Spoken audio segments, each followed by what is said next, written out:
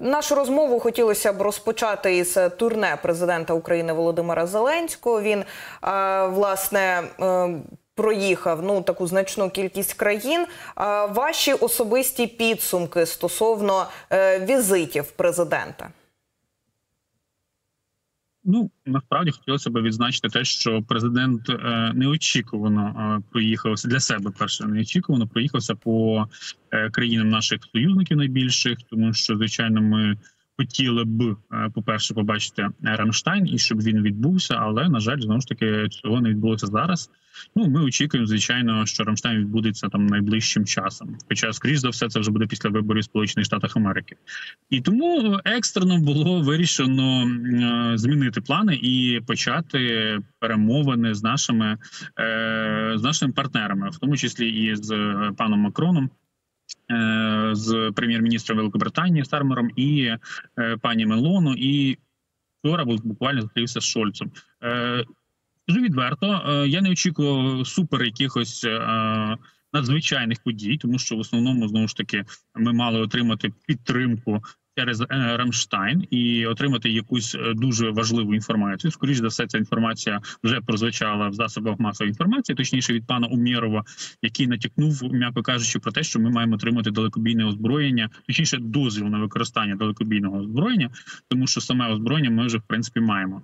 І е, а все, що стосується інших е, хороших подарунків для України. Так, це звичайно величезний такий бонус, але в будь-якому випадку ми на це очікували вже давним-давно. І е, величезні там підтримка вона не має припинятися, і вона не має бути такою, е, скажімо так, помпезною і має бути одноразовою. Тобто, ну з моєї точки зору, в принципі, ще раз кажу, все пройшло своїм чином. Нічого надзвичайного я там не побачив. Е, Про те, що ми, наприклад, передали інформацію про наш план перемоги.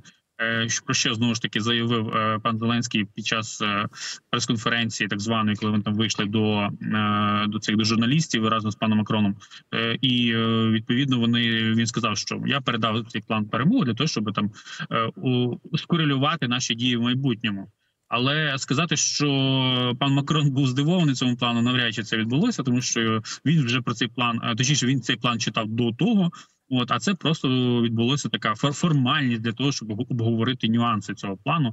Ну що ще раз повторюся, що е, ці зустрічі були неочікувані, як і для пана президента нашого, так само і для інших високопоставлених чиновників з європейського союзу, тому що ну коли не не вийшло зустрітися на Рамштайні. Ну прийшлося організовувати такі особисті зустрічі. Що також непогано, звичайно, але знову ж таки вони не несуть якоїсь величезної ваги. І ми по факту якраз це побачили. Так, ми побачили підтримку. Ми побачили там передання допомоги. Е, і знову ж таки, чому Байден, наприклад, телефонував. Напередодні до Шольца, якраз е, щоб скорелювати цю допомогу, е, що потрібно надати, що не потрібно надати, і як правильно це все має відбуватися публічно. От і чи потрібно наприклад, там певні дозволи озвучувати зараз, чи потрібно дочекатися вже більш високопоставлених чиновників? Пане Андрію, також напередодні Володимир Зеленський був у Ватикані, де бачився із папою римським. От важливість таких візитів це просто про глобальну підтримку України, чи якась ціль там конкретна умовно вона таки була. Е, Ні, звичайно, е, бажано ну, перше, по перше, у нас дуже досить непогані відносини з папою римським. Ми дуже часто зустрічаємося з ним. І, до речі, наші е, з офісу президента ну неодноразово вже навіть особисті мали зустрічі з папою римським. Але ну це більш така зустріч е, ментальної підтримки, тому що ми ж також розуміємо, що папа римський дуже часто і висловлювався не не так, як нам подобається. Знову ж таки, це не є якоюсь критичною критичним моментом, але е, ситуація вимагає те, щоб і папа римський також був на стороні е, України, тобто щоб не звучали так звані мирні перемовини, які зараз е, виглядають з точки зору Е, глобального запиту, ніби це нормально, що Папа Римський вимагає миру. Але нерозуміння е, е, отримання цього миру якраз і призводить до того, що це схоже на російські наративи. Тому ми маємо звичайно постійно розмовляти, переконувати в тому числі і самого папу для того, щоб він зрозумів цю ситуацію в Україні. І до речі, що цікаво, що подарунками Папа Римського були для президента. Там, якщо не помиляюсь, там квітка, там де було написано, що е, квітка миру, але вона дуже тендітна. Там бережи її якось такого. Там щось було натяк. Це не недослівно. А президент на, наш подарував Папіримському якраз картину, е, я розумію, з, е, жаха з жахіттями з Бучі. Ну тобто, щоб він е, це якраз було одним з таких е, моментів, щоб пояснити е, папі римському, що в нас тут відбувається, що він зрозумів, що це не, не жарти, що це не якийсь там внутрішній конфлікт там легенького масштабу. що Це страшна війна, і злочин там в цій війні є якраз Російська Федерація, і щоб він якраз переконував не нас. Е, Припинити там бойові дії, а росіян і вивести свої свої війська з території України. Тому ну, е, ну ще раз кажу, е, Папа Римський дуже впливова е, особа в світі, в принципі, в латиноамериканських країнах, в тому числі до речі, і, наприклад, у нас величезна. Підтримка зараз, наприклад, з Аргентини, але досить таки помірна підтримка, наприклад, з країн там не знаю, там Бразилія або взяти ну, будь-які інші країни, там е, які в принципі ну ну, давайте якщо взяти всіх країн, май- май- більшість країн, окрім е, там, е, наприклад, Аргентини, на жаль, ми ми латиноамериканської цієї сторони, на жаль, там є величезна проблематика в нас, і, і з точки зору через заходити в цю ситуацію через релігію, далеко не самий поганий варіант. І ми також цим користуємося, тому що якщо Папа Римський публічно буде заявляти підтримку України, то в принципі і на цих континентах ми можемо отримати ну величезний користь і плюс е, в нашій е, майбутній політичній, як мінімум, боротьбі. Пане Андрію, згадували ми в нашій розмові про те, що була перенесена зустріч у форматі Рамштайн через е, ситуацію в США, і зараз Україна чекає на нову дату проведення заходу. Безумовно, це мала бути е, ну така чи не історична зустріч, тому що на рівні глав держав Джо Байден мав приїхати. Тим не менш, перенесення цієї зустрічі чи змінить тональність дискусії? Навряд чи змінить. По перше, ми не знаємо, хто приїде, тому що ну. Складна ситуація, тому що мав приїхати Байден, але є така ситуація. Ну з іншої сторони, в будь-якому ні, е, перепрошую, я скажу, що приїде Байден. Давайте так, тому що в будь-якому випадку, навіть після проголосування там 5 числа, навіть якщо після 5, після після виборів там 5 листопада, е, все одно е, там Байден ще залишається певний період е, на свої на своєму пості, і я впевнений, що відсотки на 90, що він зможе приїхати і е, надати ту підтримку, ту допомогу, яку вони е, там планували надати Україні. Е, В якому форматі це буде відбуватися? Ну знову ж таки, е, в засобах масової інформації вже було безліч ідей про те, що саме має озвучити е, президент Байден, і говорили про те, що він навіть нам підвищить заявку про, про вступ в НАТО. Ну це ну, ну з моєї точки зору, це така трішки абсурдна ідея, але окей, хай буде. Тому що підвищення заявки це вже проголосування, грубо кажучи, на які на рівнях там цих парламентів за те, щоб Україна долучилася до НАТО. Але сам факт, що Байден має щось привести цікаве і має як мінімум запропонувати нам, як я вже сказав е, на початку нашої розмови, про те, е, про те, що ми маємо отримати е, дозвіл на використання далекобійного озброєння.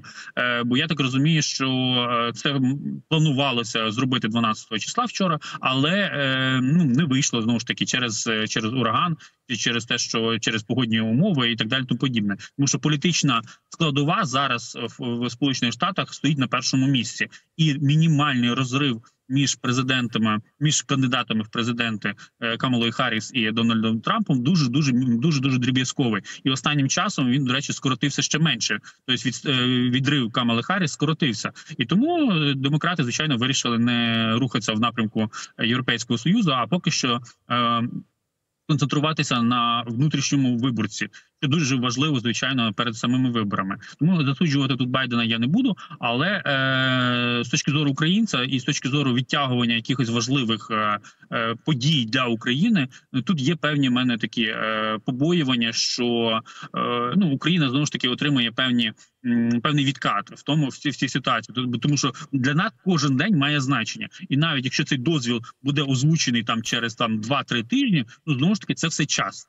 Це все проблематика для України, тому що ми не використаємо це завтра. Ми використаємо це після, післязавтра, через місяць і так далі. Це озброєння. Тому що публічно ми не можемо зараз, на жаль, використовувати це озброєння, доки нам немає публічного дозволу. Тобто ми не використовуємо ті атакамси по 261 об'єкту е, Російської Федерації, які знаходяться в зоні там бойових дій. Ну тобто, знову ж таки, це все домисли, але фактично ми побачимо. Я впевнений, що це вже е, ну цю зустріч побачимо після після виборів Сполучених Штатів Америки, тому що поки що там дуже критична ситуація з е, голосами, і ніхто не хоче ризикувати.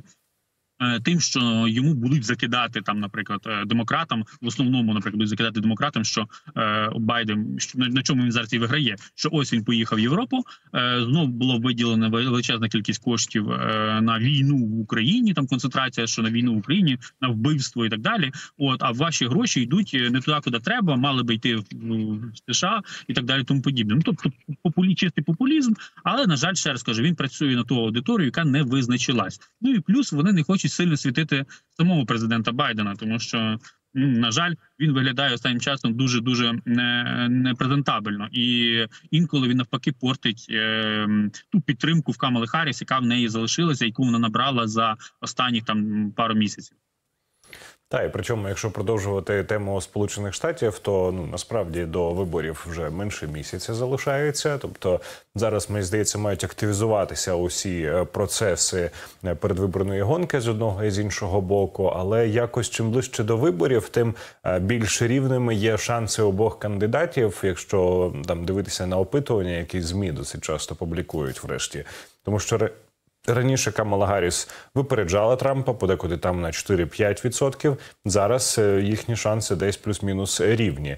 Як е, от і ураган в Сполучених Штатах може вплинути на ситуацію, в тому числі, тому що ракурс людей він зрозуміло перемикається з там якоїсь міжнародної повістки на проблеми всередині в США. От в те, що в Флориді е, відбувалося, ну це.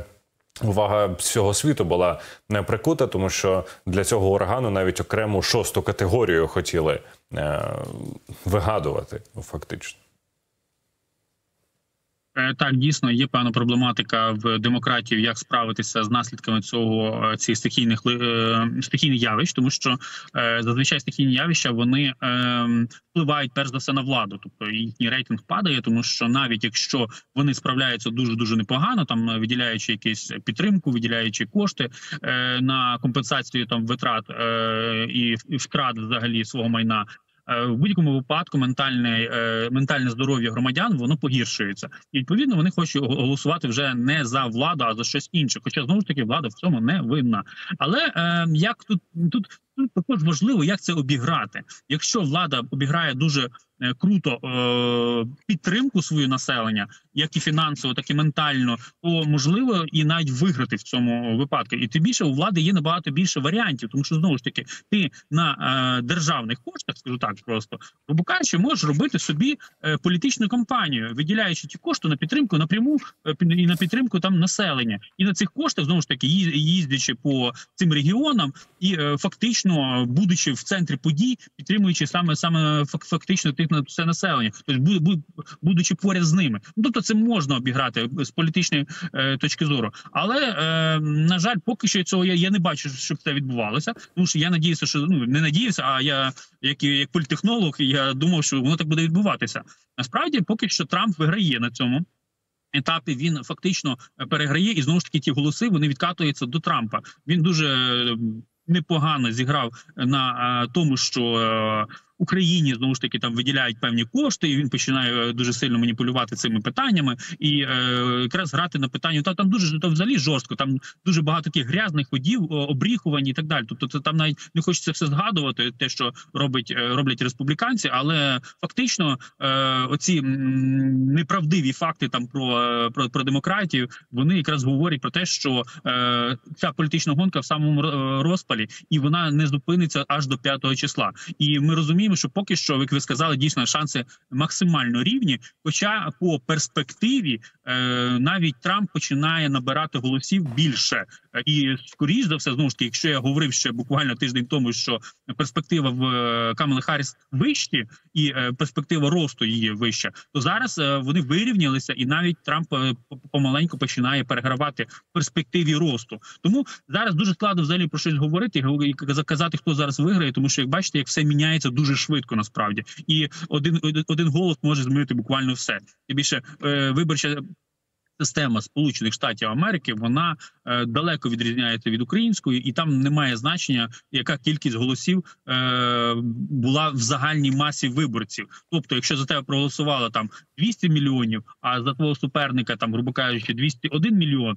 То виграти можеш саме ти, тому що ти, що ти, е, бо за тебе, наприклад, проголосували не кількість, більша кількість виборців, а саме ті виборці, які обиралися. Там складна система, тобто і вони можуть е, ну, переграти повністю. Знову ж таки, так відбулося е, попереднього разу, позапопереднього разу, коли там Трамп з Клінтон, да, Трамп, Трамп, Трамп з Клінтон дійсно вони боролися і за неї проголосувало на мільйони виборців більше. А самі виборці, які були обрані ними, вони проголосували за Трампа. Тому все, все можливо насправді, і ситуація вона може змінитися в будь-яку секунду. Безумовно, так ситуація дуже динамічна. Будемо і надалі за неї стежити, обговорювати із нашими гостями. Пане Андрію, дякуємо за сьогоднішню розмову. Нагадаємо нашим глядачам, що з нами на прямому зв'язку був Андрій Городницький, доктор філософії та політичний експерт. До нових зустрічей. Дякуємо. Дякуємо дуже.